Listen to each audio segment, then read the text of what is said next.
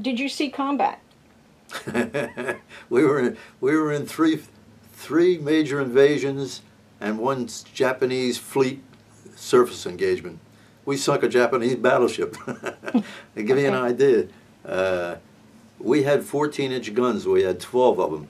You know, the ship did. Most battleships had 16, 16 inch guns, like the Jersey. Uh, but the California was commissioned in 1919, and they they were still using 14 inch, you know, you know, major things. But anyway, uh, I think you know, like a 14 inch projectile is about this big, and naturally 14 inches, you know, round. He would know more about that.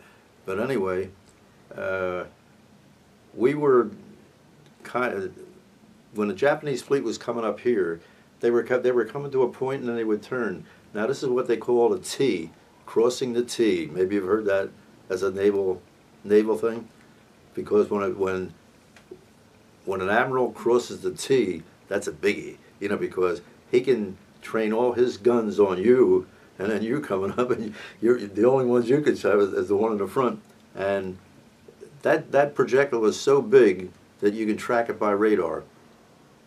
And that's what that's that's what we were doing. Uh, we were firing nine gun salvos, and they had 63 hits on this Japanese battleship, and then it disappeared off the you know, off the screen. So we were carrying Admiral Oldendorf at the time. So we were the flag, as they say. And uh, so we ended up painting, painting that battleship on our, you know, uh, you know, the upper superstructure. Yeah. Okay. Did it was you? it was a fun night, all in the dark. Mm. Did you experience any casualties in your unit? Well, not that time, but when when we when we did the, the northern Philippines, that's Lingayen Gulf, uh, if you're familiar with the Philippines, and uh, that was our second. See, the first the first invasion of the Philippines was when they brought MacArthur back.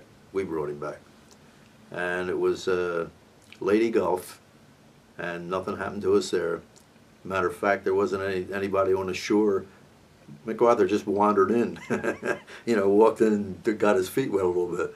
Uh, but then, then when we went to uh, uh, the northern Philippines, that was Lingayen Gulf, and uh, we got hit by a kamikaze there, and uh, he hit up on four decks above the main deck, and between the aviation gasoline and the bomb that he was carrying, killed everybody on the back of the ship. 69 guys. Uh, and it was the funny part for me is that uh, we weren't even in general quarters when you know when all this was coming to pass, and I'm sitting on the quarter deck, you know, like a gentleman, and uh, some somebody they, they passed the word. They said bogey one one eight zero. Now, if you if you can see a circle 360 degrees, so zero is here, 180 is down here. So when they said 180, that meant it was coming in this way. So I thought, I think I'll go get a drink. so I went, I went inside the deck house. I'm drinking a glass, you know, off, off, the, the scuttlebutt. And uh, uh, when it hit, and Christ, you know, the whole damn ship was on a flame practically. And there was a cruiser to Columbia that I helped build, was near us, and they took a picture of the whole thing. Huh. And it, you know, you could see the whole back of the ship was just one one mass flame, and it was funny because. Uh, funny, odd. Uh, what what they do, like, they figure on things like this is going to happen, and sure as hell it does.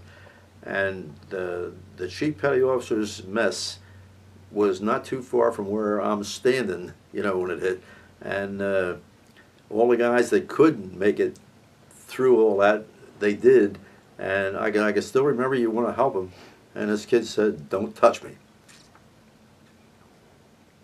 so I didn't. And that was that.